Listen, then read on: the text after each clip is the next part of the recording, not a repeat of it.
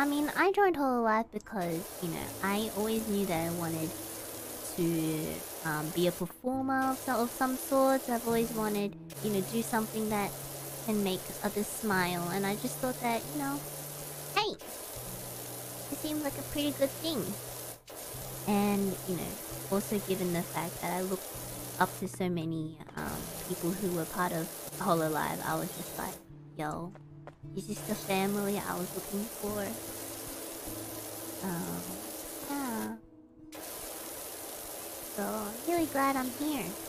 Can't believe I'm here most of the time.